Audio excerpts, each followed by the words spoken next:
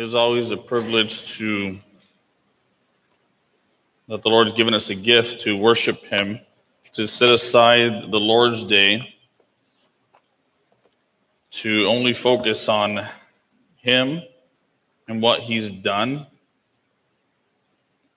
And as you turn to the Gospel of John, chapter 13, I want you to give thought to this, even if you've seen the bulletin. The title of this message is the second part of last week's sermon is loving his own, contemplating the Lord's Day, and that same idea, that same idea that the privilege that belongs to all those that claim Christ, that are believers, that have confessed him as Lord and Savior. I see these, these chapters as even a preparation for the church, even today. Um, let, let, me read these portion, this portion of scripture. We're going to be going all the way from verse 1 through 17. But I, I what I want you to understand is, is this is what I want you to give thought to is that this is something that Christ, through John the apostle, is telling you this morning. 2,000 years ago, it's a day before Christ would be crucified, but this is a letter to us. Let, let me read this and, and again give thought to this. In verse 1, this is God's infallible and errant and inspired word. Now, before the feast, the Passover, Jesus, knowing that his hour had come, that he would depart out of this world to the Father, having loved his own who were in the world, he loved them to the end. During supper, the devil, having already put into the heart of Judas Iscariot, the son of Simon, to betray him, Jesus, knowing that the Father had given him all things into his hands, and that he had come forth from God and was going back to God, got up from, the, from supper and laid aside his garments, and taking a towel, he girded himself. Then he poured, water, poured water into a basin and began to wash the disciples' feet and to wipe them with the towel which he was girded with.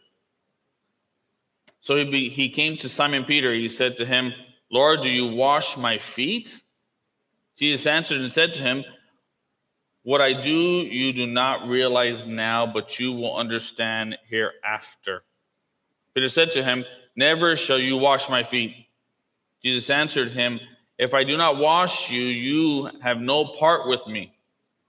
Simon Peter said to him, Lord, then wash not only my feet, but also my hands and my head. Jesus said to him, He who has bathed needs only to wash his feet, but is completely clean, and you are clean, but not all of you. For he knew the one who was to betray him. For this reason, he said, Not all of you are clean. So when he had washed their feet and taken his garments and reclined at the table again, he said to them, Do you know what I have done to you? You call me teacher and Lord, and you are right, for so I am. If I then, the Lord and teacher, wash your feet, you also ought to wash one another's feet. For I gave you an example that you all you also should do as I do. Truly, truly, I say to you, a slave is not greater than his master, nor is one who is sent greater than the one who sent him. If you know these things, you are blessed if you do them. Pray with me. Father, this morning, we want to take pause from all of life and to hear from you. We want to see what your life was demonstrating to us. Not as a mere example, but as a way of life that begins with the transformative work of the gospel.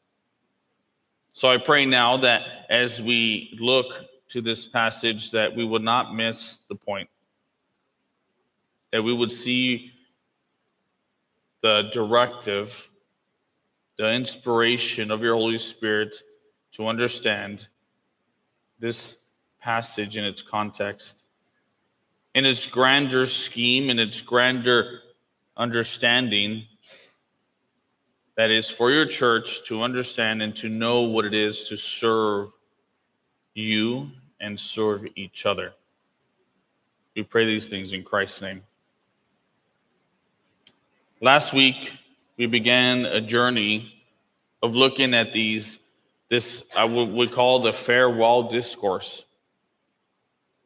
That Jesus is, is with his disciples, and now he's out, out of any kind of public ministry.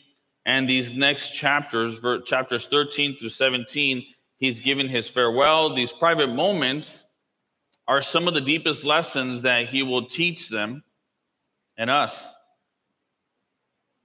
Most importantly, to instruct this instruction comes at the precipice of the cross itself. What is this entrance to this instruction or to these lessons? What is like the first lesson that we see? None other than humility as a form of love.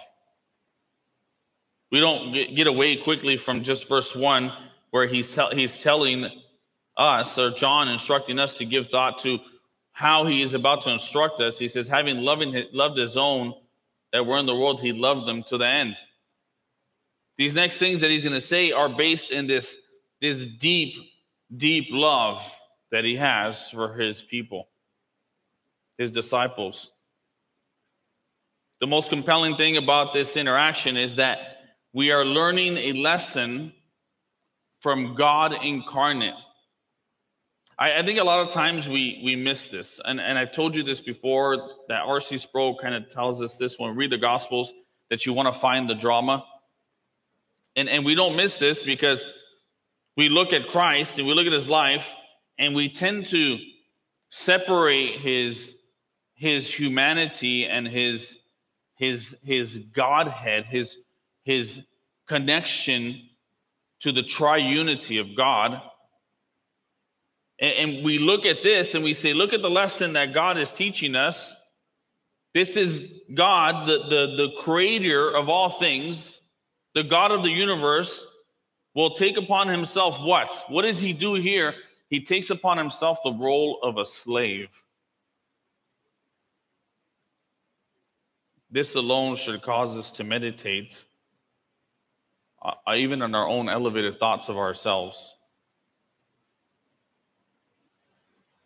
The principles applied from, from Matthew 23, verse 12, that says this Whoever exalts himself shall be humbled, and whoever humbles himself shall be exalted. This is, this is true. And, and that humility begins with, with a surrender to the gospel, right? But First Peter chapter 5, verse 6 also says this humble yourself under the mighty hand of God that he may exalt you in proper time.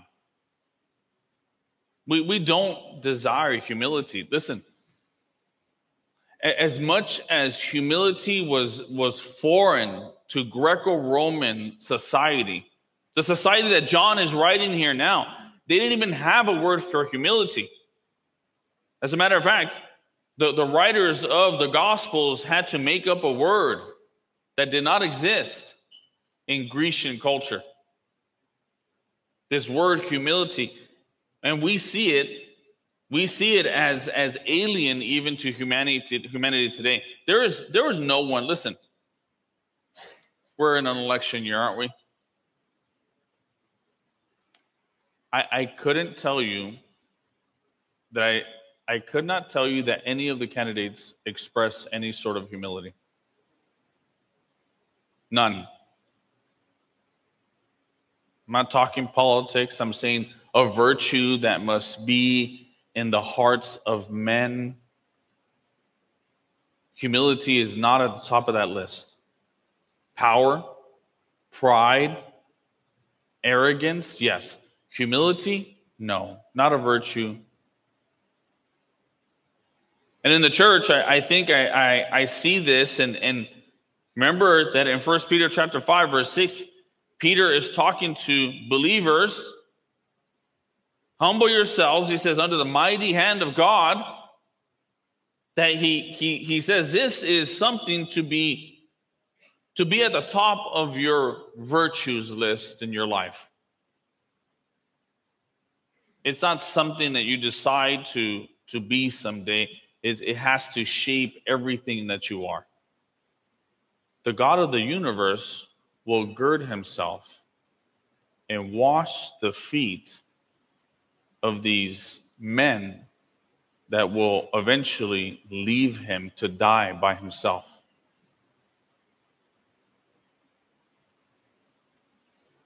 So we see this exemplified in, in the life of, of what I see in scripture when I thought, where can I find this? Where can I find some of the greatest men in the Bible that, that exemplified humility? And, you know, one of my favorite characters, you guys obviously have to know, is Paul, right? Paul the Apostle. And I, and I see it, I see it at, and remember, this is Thursday. It's a day before Christ would die. So he has these last words, these last instructions. In the same way, Paul, and, it, and he exemplified this humility of Christ at the end of his own life. Becoming a model of sorts, he, he's, he served, his whole life was a form of service unto the Lord and unto his church. So we see this best demonstrated again in his farewell speech. Turn with me to Acts chapter 20, a few pages to your right. Acts 20. And, and I want you to give thought. So give thought to the words that Paul uses. He, he's about to be carted off to Israel, right? And the prophecy had already been foretold about him actually dying in Israel. So he says this. He's speaking to these people in Acts 20, starting in verse 18. Look what he says, starting in the middle of the verse. It says, You yourselves know from the first day that I, that I set foot in Asia, how I was with you the whole time. He, he begins to speak about these people in Asia Minor, these churches that were planted in Asia Minor. We're talking Ephesus, Philippi. You know, we have these churches that are well established, all because of his work. He says in verse 19, serving the Lord with all humility and with tears and with trials which come upon me through the plots of the Jews. Serving the Lord with all humility. There, there wasn't an ounce of some sort of look at me, look what I've built in Paul. Not even a little bit. Look at verse 20. How I did not shrink from, from declaring to you anything that was profitable and teaching you publicly from publicly from house to house. You know, this wasn't like they, they would create events, they wouldn't do that. Paul didn't say, Well, let me set out some flyers, everybody come here. But Paul did house to house to house. No care for himself. No thoughts of like, am I going to wear out? Am I going to burn out? No. He was going to be spent for the Lord from house to house. In verse 21, solemnly testifying to both Jews and Greeks of repentance towards God and faith in our Lord Jesus Christ. This ministry looks a lot like Christ's ministry, doesn't it? Going about doing all these things. I mean, he didn't do exactly the same things Christ did. Christ proclaimed the gospel, he preached, he healed. Look at verse 22. And now, behold, bound by the Spirit, he, look at he's bound by the Romans. He's arrested. And again, he points, why am I in this position? Why am I here right now? It's for the sovereign hand of God that I'm bound by the Spirit. I am on my way to Jerusalem not knowing what will happen to me there, except that the Holy Spirit solemnly testifies to me in every city, saying that the bonds and afflictions await me. He knows what he's going to. He knows he's going to die. Look at verse 24. But I do not consider my life of an account as dear to myself. Wait a second. Hold on. I want you to ask yourself this Can you say that of yourself right now? He says it in half a sentence what humility really is. Can you say that for yourself? I do not consider my life of an account as dear to myself. This is the heart of Christ just bursting through Paul. Again, I don't see this in any candidate. Look at look what it says further. It says, So that I might that I may finish my course and the ministry which I received from the Lord Jesus to testify solemnly of the gospel of the grace of God. Verse 25. And now, behold, I know that all of you among whom I went about preaching the kingdom will no longer see my face. This is this is this is a goodbye. This is I'm I'm leaving you. You're you're not going to see me this side this side of heaven. You're not. It, it's a form of humility that again that is alien to society. It was alien then. It's alien today. Sometimes, unfortunately, it's alien even to church. That we don't see humility this way. We don't say, well, what does God want? What would God have me to do? Get a towel and wash someone's feet? Gross, right? Turn back to the Gospel of John. I mean, yes, chapter 13. Listen, what a life that Paul lived, right? If we if we could have just 10% of Paul's life, if we could have 10% of Paul's humility, a life that expressed the love radiating through his life, a love for Christ, a service to the people, it's no surprise that the, the heart of love and humility are closely intertwined. And it has its roots and again, a, a love that he had from Christ. He loved his own, he says, and he loved his own to the end. And guess who he loved to the end? He loved Paul. And he loves you.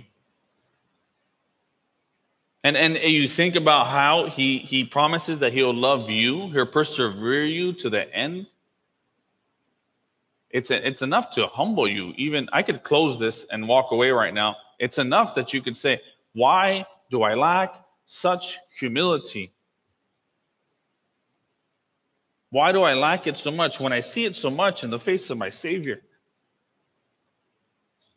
So I take you to this back to Christ and how he's going to exemplify that for us. And it's in three points a love in sanctification, love under betrayal, and love by example love in sanctification, love under betrayal, and love by example. Listen, this is this is what he says. He, starting in verse one, we're, we're near the point of Christ's departure. I remind you again, right? So he says this Jesus, knowing that his hour had come, that he would depart out of this world to the Father. So we see this. It's Thursday evening, it's the Passover. They're celebrating God's rescue of the Israelites from Israel by, the, by a, a bloody sacrifice of a lamb. And, and Passover is to, to hand, uh, it is to be hand in hand with, with Christ's own sacrifice. And Jesus begins to prepare his disciples for the true and last Passover meal, the only true and last Passover meal that will institute the Passover meal for us. Jesus being the Lamb of God that takes away the sins of the world, right? John tells us frequently about the contrast of what is happening in this room. Not all is as it seems. There's more happening during this time than we could ever even understand. Because he says in verse 2, he goes from loving his own, and he goes in verse 2 During supper, look what's happening. The devil having already put into the heart of Judas Iscariot, the son of Simon, to betray him. This is what's going on. There's a traitor among them. He's plotting the devil's work. And, and in the middle of this secret conflict, Jesus does something that not one of them thought he would ever do. It did not cross, cross their mind even a little bit about what he's just about to do. But before this would happen, John reminds us of two things in verse 3. Look at verse 3.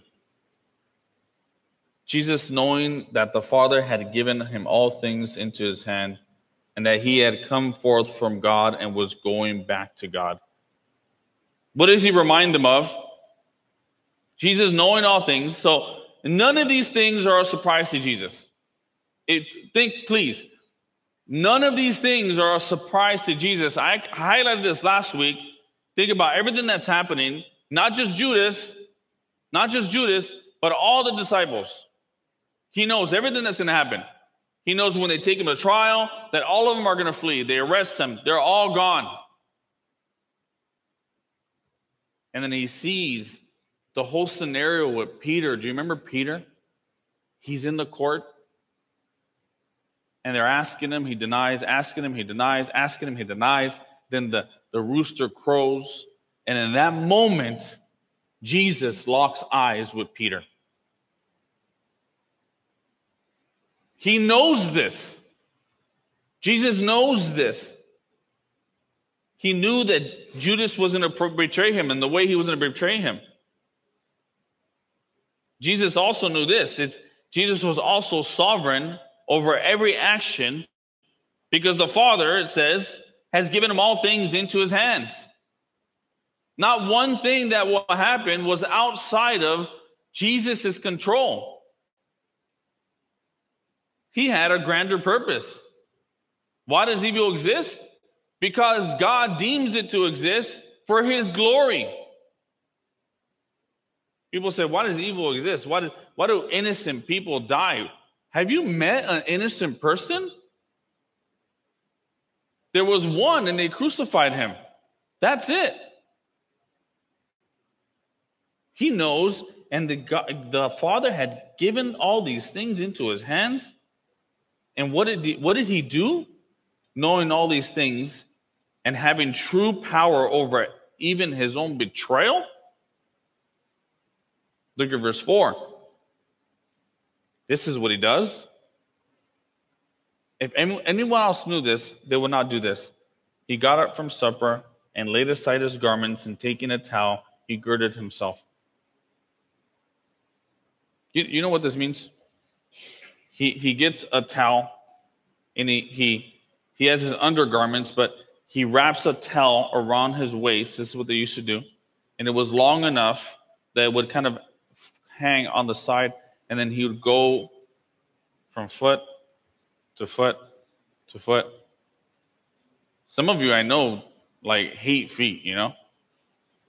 Like if someone has their dogs out, like it bothers you. Jesus decides to do the most menial.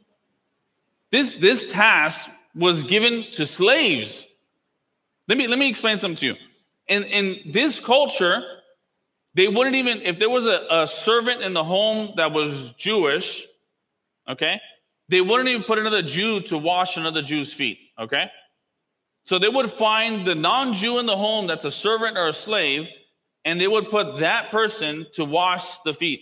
This was the most demeaning task in all of the home, the lowest of the low. You, you could not get lower. And Jesus does this in the middle of the meal. He girds himself and he begins to do this.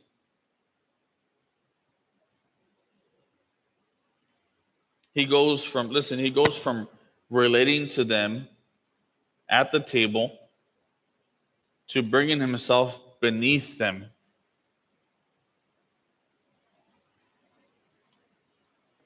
dressing himself like a low, a lowly servant. The king of the universe, listen, to remind you one more time, the king of the universe becomes a servant to everyone in that room.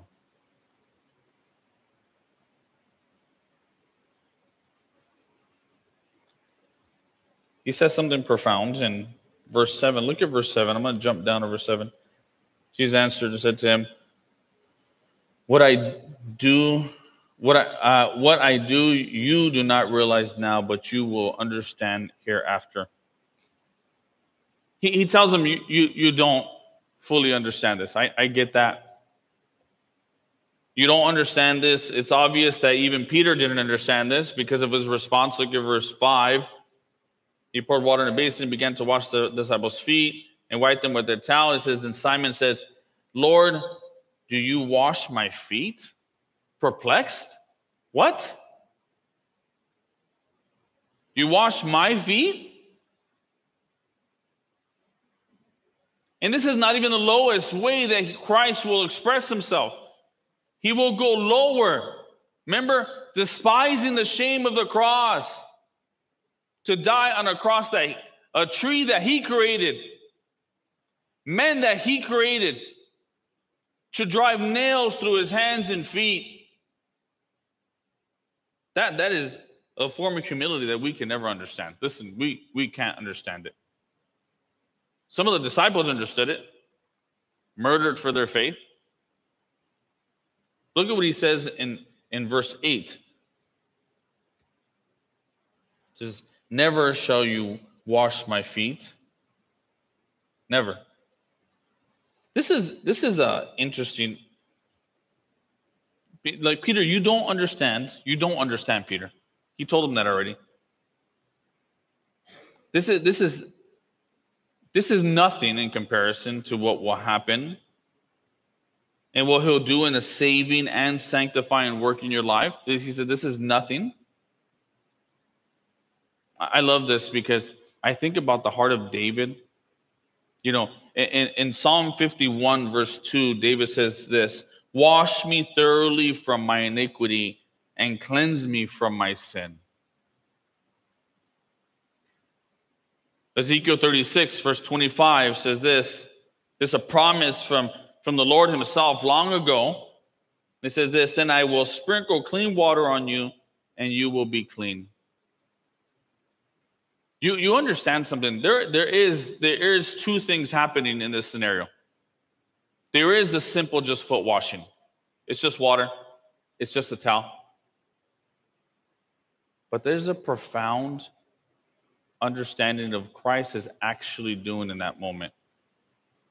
Did the water actually take away sin? No. But was Christ giving them a word picture of what he, he was doing within their soul? Yes. Yes. He says it later on. But uh, turn with me so you can see this for yourself in Hebrews chapter 10.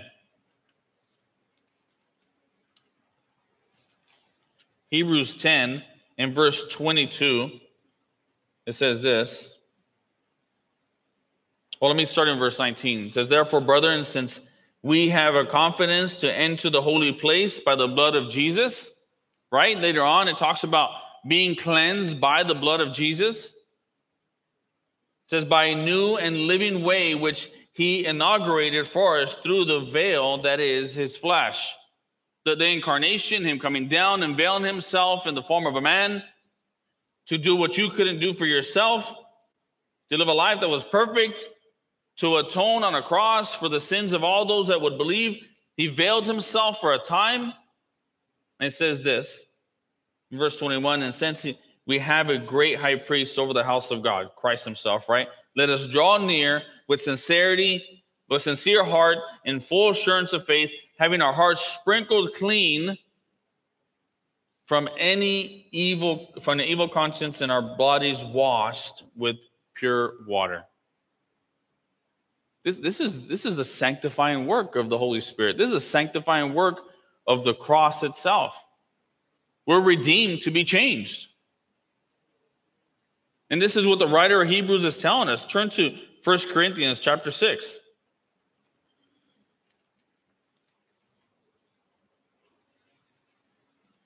First Corinthians chapter 6, look verse 11.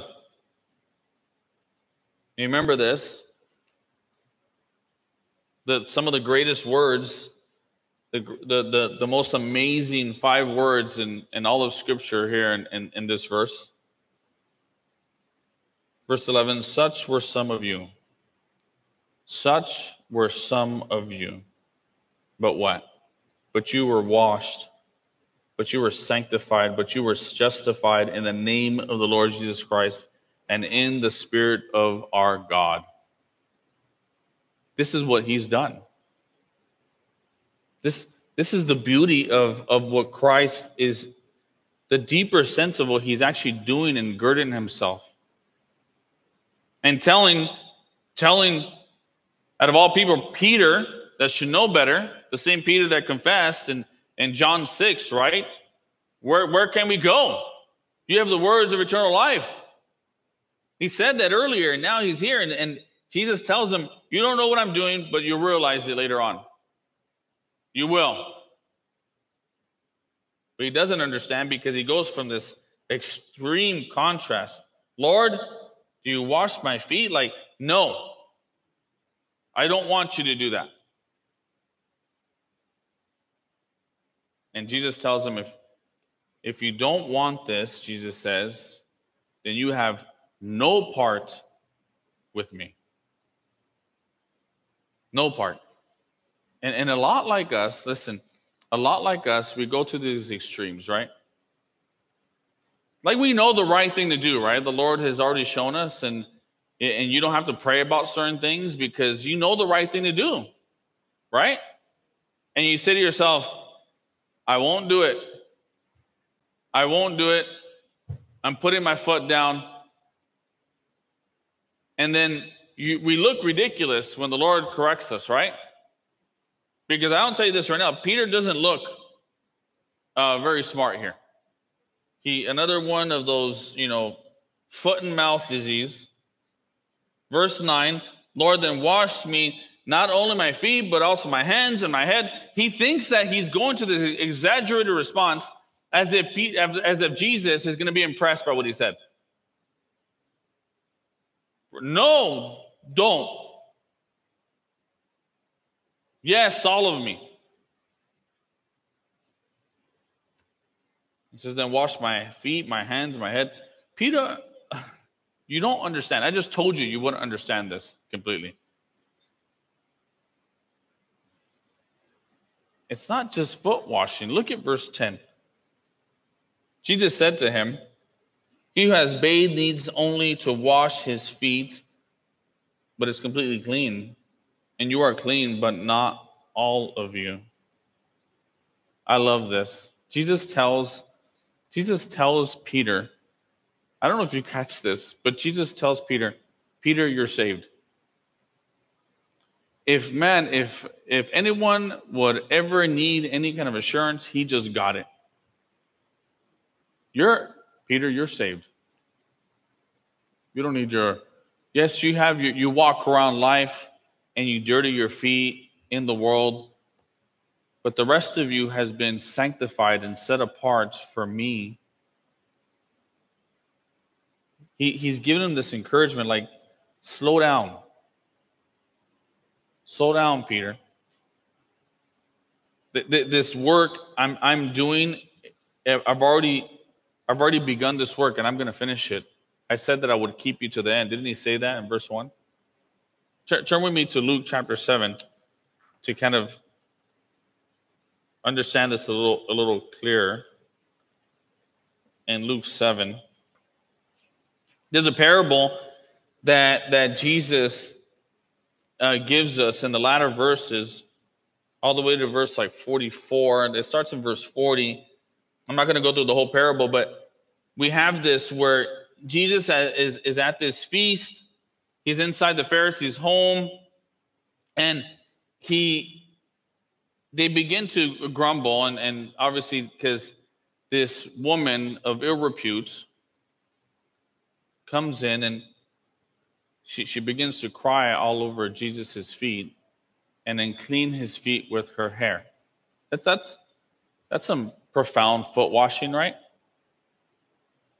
And, and then he says this. He turns towards the woman in verse 44. And he said to Simon, which is the Pharisee that was there, Do you see this woman? I entered your house. You gave me no water for my feet.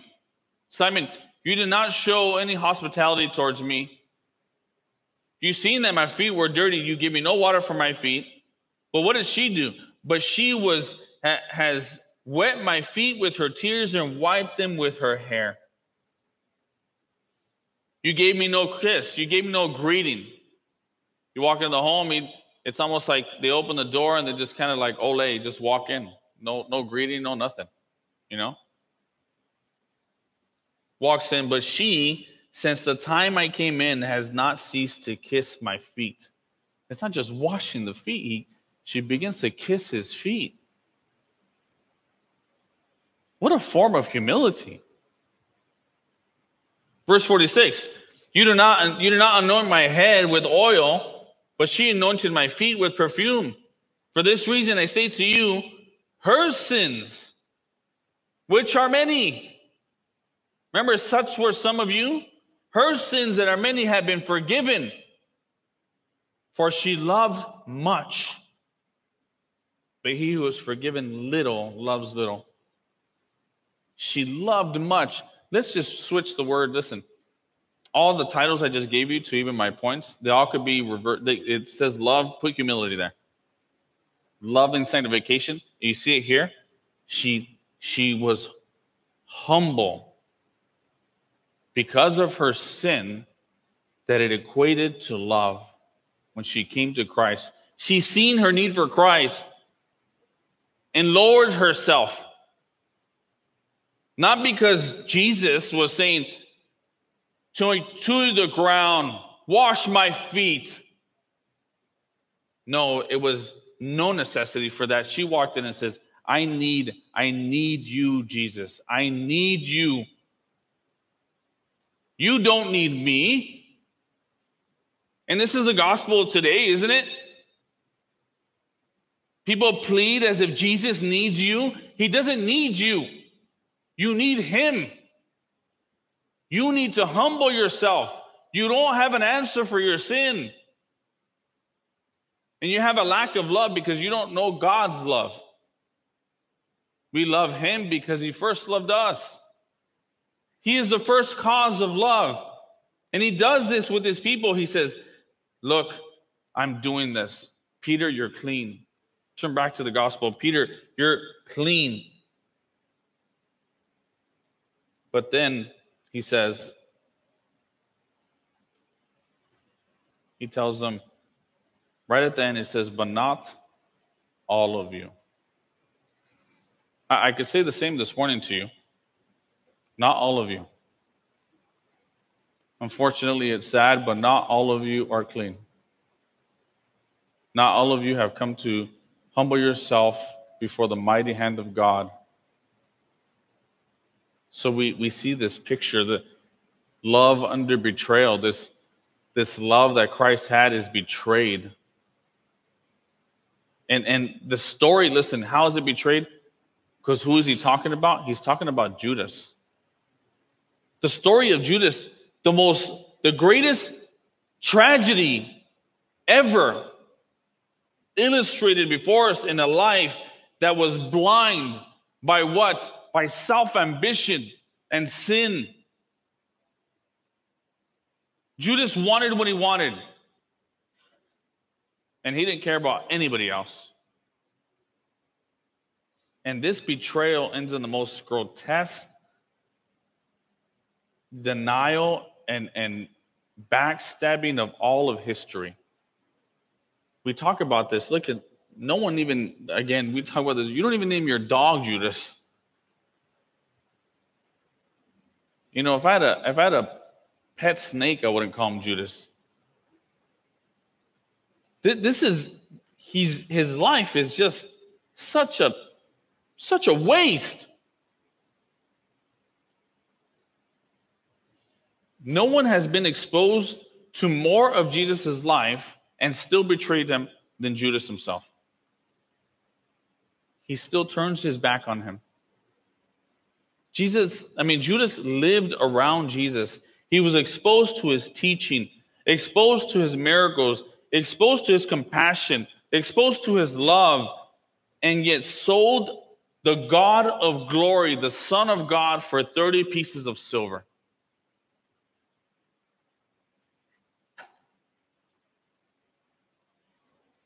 Maybe no one has ever sold their soul for less, but I would argue that there, there is many still that sell it for less. John had already exposed the heart of Judas. He already did this. Turn back to John chapter 6. Look at John chapter 6 and verse 67.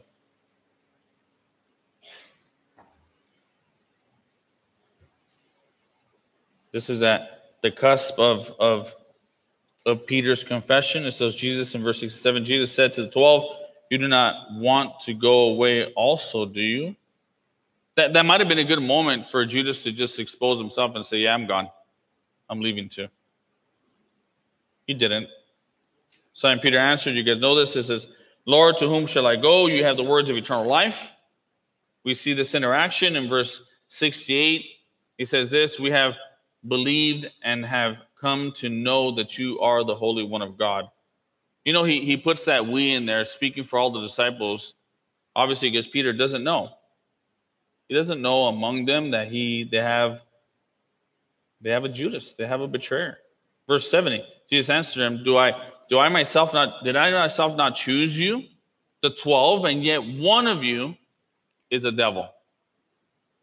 One of you is a devil. And then John gives us the, the commentary in verse 71 says, Now he meant Judas, the son of Simon Iscariot, for he, one of the twelve, was going to betray him.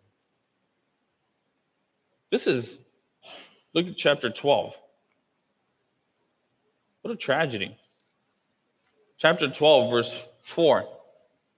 But Judas Iscariot, you remember this, that Mary anoints Jesus his, his head and his feet, and and he's over here, hey, you know what? That wasn't in the budget, guys. Right? Verse 4. But Judas Iscariot, one of the disciples who was intending to betray him, said, why was this perfume, listen to the arrogance, not sold for 300 denarii and given to the poor people? You don't care about the poor, Judas. This sounds a lot like this nonsense that goes around today, right, with CRT and BLM. You don't care about them. You take in millions. Then what do you do with it? Judas.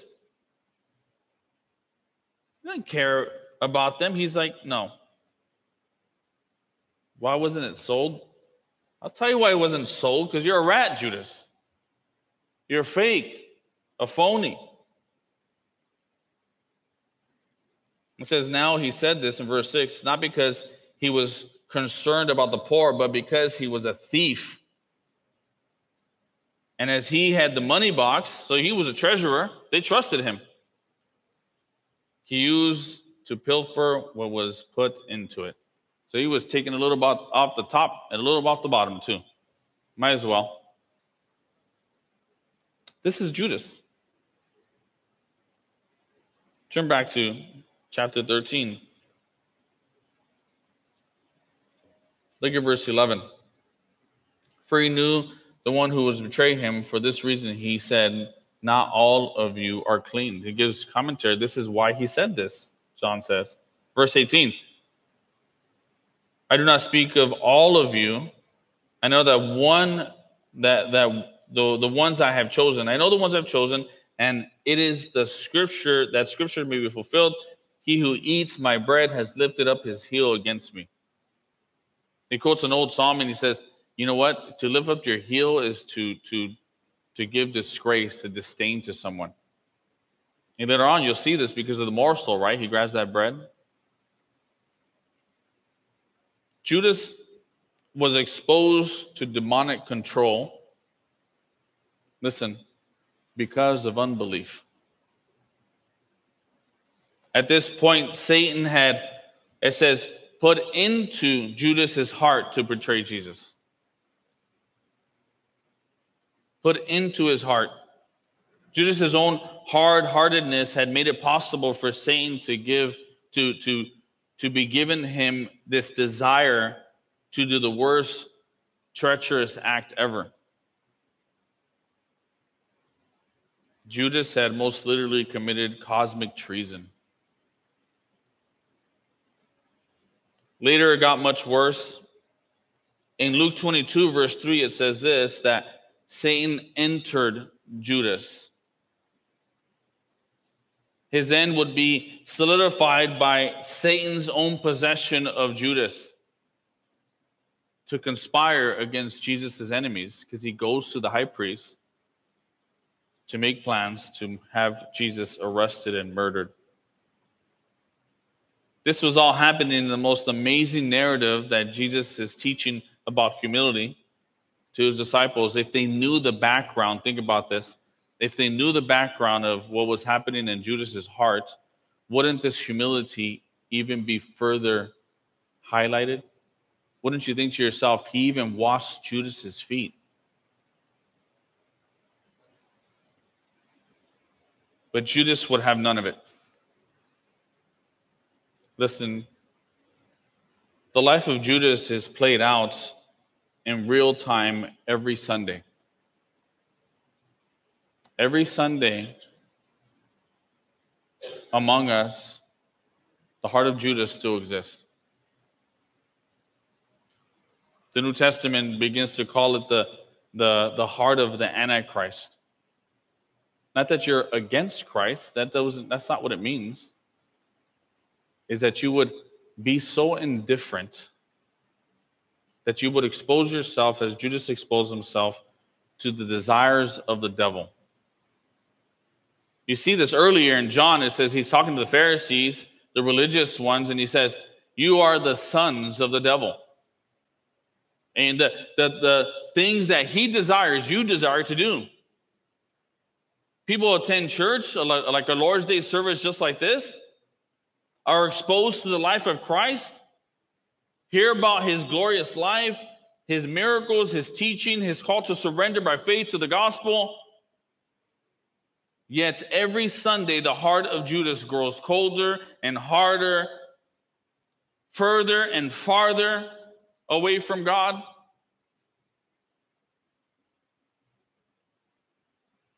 Until one day, they turn their back on him in a true finality. You may say, I don't I don't despise Jesus, Pastor. I don't despise him.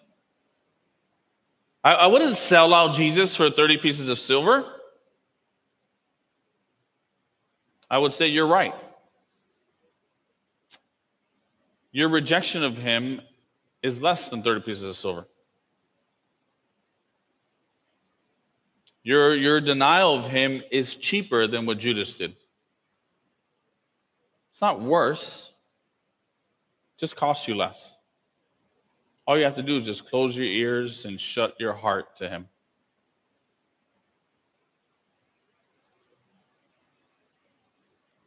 He asks for your life surrendered, and you say, No, mine. This is my life. Luke 9 24 says this For whoever wishes to save his life will lose it, but whoever loses his life for my sake, he is the one who will save it. You have a death grip on your own life. Judas had that same grip. In the end, he sacrificed his own life. He had no one to blame but himself my last point. I'm running out of time here, so we'll take this to next week. But love by example. Again, I would love to expand this point, but we'll, and we will next week. But I want to give a, a cursory thought of, of what Jesus says next in verses 12 to 17. And look at verse 12. So when he had washed their feet and taken his garment and reclined on the table again, he said to them, Do you know what I have done to you? Jesus goes back to the robe because he, he takes off the girding of the towel and puts on the robe again. Then he goes back to the table to take his place again with them as peers. But not really. Because he tells them, I'm your teacher and Lord. And he opens it by asking this question Do you know what I have done to you? Do you understand what I've just done? I love this because most of us with with will stay quiet, right? I've I've asked this question like if I'm in I'm moderating on Saturday morning and I ask a question and it's like a simple question. Everybody stays real quiet because they think I'm I'm trying to do some trickery, right? And sometimes it's true of me, okay, but it's not true of Jesus. He asks this question and no one answers. No one answers. And it is true to actually stay quiet because his answer or his explanation, what he did, was going to be more profound than anything they could, they could say. This one moment of what Jesus is going to explain to them will, will literally define the rest of their lives. Everything after his after this, after this interaction from chapter 13 to 17, after the crucifixion, after resurrection, everything after all these things will define their whole lives and then it will bring clarity. A clarity that they couldn't have before it. This is listen, this is not a call to the church to to begin to start doing foot washing, okay? I know some churches do that. I'm not opposed to it, but this is not this is a principle. And and he he's telling them about this pr- principle and apparently to them that that later on this this would affect their ministries and shape everything that they do based on a few words. Verse 14, the first part, it says, If I then. In the middle of the verse, it says, You also. If I then, you also. I think everything that we see in our lives should be based on that. If he then did this, then I will do that. Nothing is beneath a believer's calling. Do you understand? Nothing is beneath you. This is why Judas hated this message. It, it destroyed his whole life. Why? Because it did it did damage to his his pride. And it does damage to our pride, doesn't it? Believers, you are called to be humble. Not because it will bring some sense of worth to your life, because it does, it does do that, but not because of that. That's not our motivation, because it will bring glory to the Lord. That's why. In closing, I say this the Lord Jesus came to serve, and Mark 10 45 says, I came to serve and not to be served. This is the model of what a believer is, and not uh, uh, not one that desires to take or to be served, but the one that sees sees Christ and what He's done and says, "I can never outdo my Lord. I can never outgive Him." But you could say, "I will spend the rest of my life trying." Though that's what Paul did, didn't he? You see, Mark 10 45 ends with this. The second half of the verse. He says, But to serve, and he gave his life a ransom for many. You are redeemed to serve, redeemed to exemplify humility. The calling to, of the redeemed is to live a life that is sacrificed towards him. Romans 12, 1 and 2, right? A living sacrifice. And in so doing, we give the world a view of what a transformed life, a ransomed life looks like. Not living for ourselves, but for Him. Pray with me. Father, we are so in awe of your greatness, of your love towards your own and, and what you called your church to be and to do. I pray that you would help us, Lord, to exemplify humility. And even in doing that, Lord, that we would show the world what it looks like to love you, to abandon any kind of pride that says, I could save myself, to abandon any kind of loves that would keep us from you. A type of love that is, that is disgusting that would reject the work of your Son. Lord, help those that have not yet come to know you that this morning, for your glory and your praise, or that you would save them, that you'd grant them repentance and faith, that they would not trust in themselves, that they would trust only in your Son. And in doing so, they would come to know him and love him. Lord, for your church, strengthen her in these truths Help us, Lord, to first, within the church, Lord, show humility towards one another. And in doing so, bring glory to all that you are and all that you've done. We ask in Christ's name. Amen.